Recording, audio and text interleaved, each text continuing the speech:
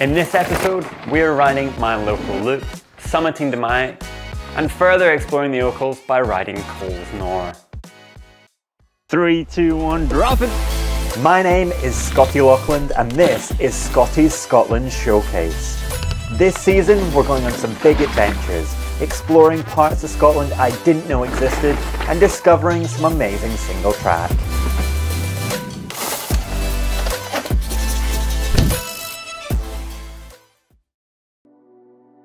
I think everyone's got a spot where they can remember their first proper mountain bike ride, and this is mine. I grew up in Bridge of Allan and the Mine Woods became my second home. Every day I could would be spent building and riding. As I discovered more, the landscape I rode in shaped my style of riding. What made living here so special? The fact I have everything right on my doorstep. This is home and it holds a special place in my heart and I'm excited to share it with you. First up, the loop. This is a route I've been doing since day one. It starts and finishes in Bridge of Allan, passes through the reservoir, Lower Dumyat, down Witches Craig, the Uni Woods and finishes in the Mine Woods. It's short but sweet and is rideable almost year round. I can lap this over and over and no two days are ever the same. Stats of the loop 10 kilometers with 420 meters of ascent and descent with a little bit of everything. Mountain biking for me is an escape. It's an opportunity to forget the stresses and just be at one. It doesn't matter how long or short, being out on my bike brings me a sense of calm. And on the loop within 10 minutes you forget where you are and it feels like you're in the middle of nowhere with rolling hills in front and mountains behind. top of Witches Craig. This is one of my favourite descents on the local loop. It's fast, it's got some technical sections. You come out and ride along cliff top edges. There's some big compressions in there and it's just, it's really fun. The terrain is really nice, the ground's good, there's nice grip and you're just riding and ripping through the trees. So, let's drop in I can show you what it's like.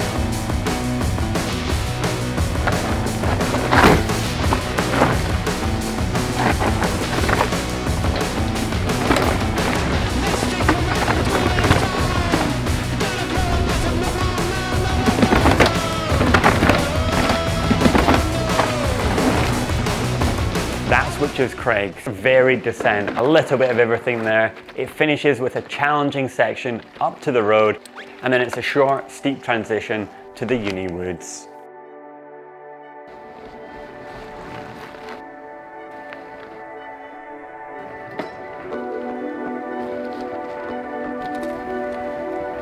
The next trail on the loop starts at the top of the Uni Woods. It winds its way down, it's fast, it's got a few little drop-offs, it's got some sprints, it's got some really nice turns, and then a fast section between the trees. Kind of again, got a little bit of everything.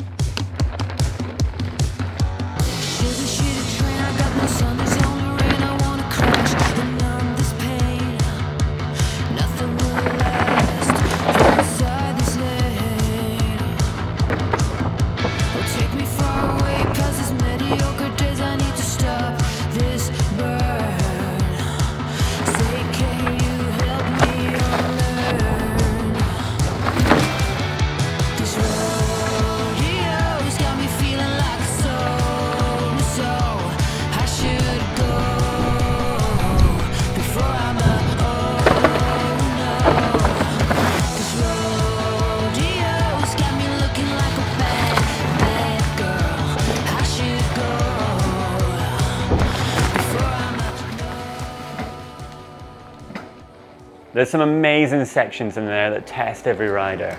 From here we pedal up with the background of the Wallace Monument to the Mine Woods to the last ascent of the loop.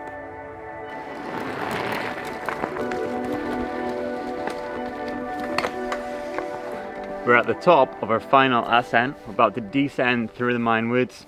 This is a lap that I've been doing pretty much my whole life. There's loads of variations. We're sticking to the original trail.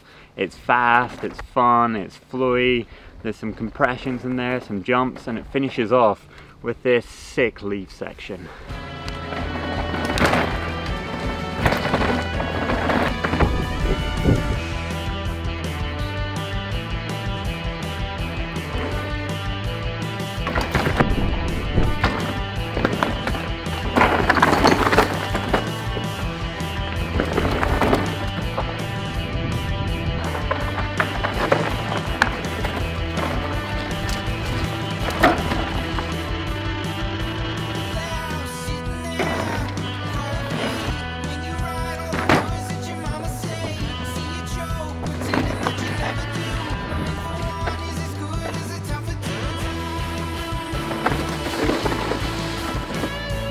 Don't know what it is, but there's something I've always loved about taking on a circular loop, where you start and finish in the same place without crossing where you've been or riding the same bit of trail twice. This area was where it all started for me. It allowed me to develop and progress as a rider. I used to spend every minute I could up the woods, building, riding and sessioning with my friends. And this is a loop that no matter where I've been in the world, I look forward to coming back to riding. It can take as little as 40 minutes or even a couple of hours and it keeps me coming back for more. Next, we're heading up to Myatt. Part of the Ochil Hills, it sits at 434 metres above sea level.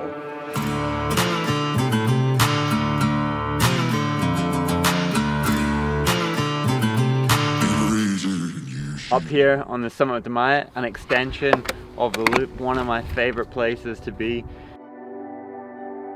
beautiful panoramic views 360 degrees. This is the first time I've managed to catch sunrise and it has been absolutely epic. We've got these little vapor clouds just rolling through. We got the the sun just coming up behind the mountain right there and it's just absolutely amazing. We've got a complete empty mountain to ourselves. This has got a lot of different features some big compression some rock faces. I'm excited. Let's drop in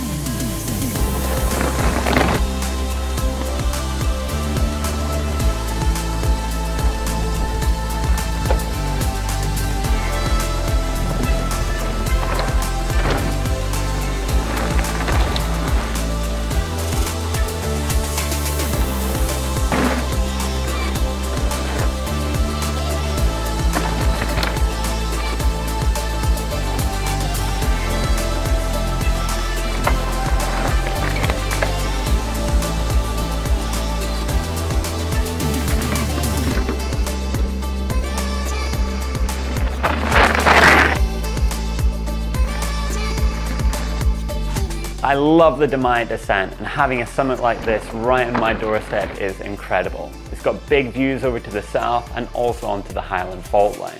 The trail has that alpine feel of volcanic rocks, loose gravel and endless single track. And from here you can ride Witches Craig, the Uni Woods and the Mine Woods.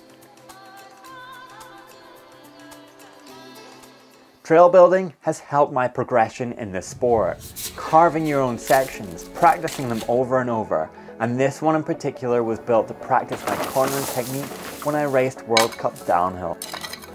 We get in there, it's looking a lot better. Some more support in the turns, a little bit of drainage and just overall a freshen up.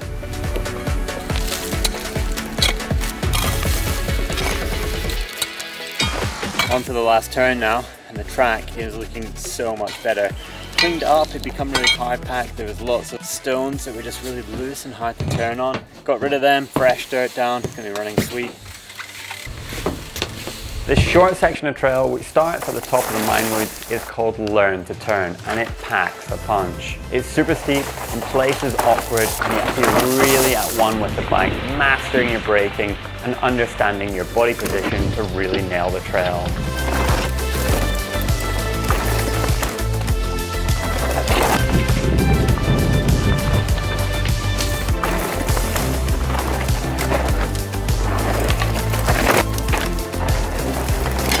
This is an easy addition to the loop. You can lap it over and over to master it and pedal back up to the Coppermine path to the start of the Mine Woods. The Ochils have been my most recent doorstep discovery. The grassy, open hill footpaths make for fun mountain bike trails and can be made into all-day epics.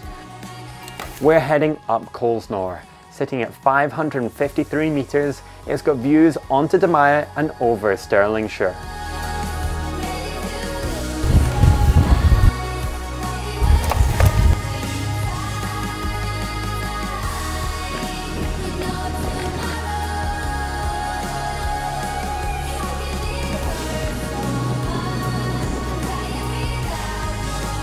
Living here has allowed me to explore and discover where your mountain bike can really take you. And whilst there might be no mountains, I've got pretty much every style of riding right here at home. Thanks for watching this episode of Scotty's Scotland Showcase. It's been a pleasure sharing my local riding spot with you, and if you want to ride any of these routes for yourself, then you can find the link in the description to the Komoot collection where you'll be able to follow turn for turn.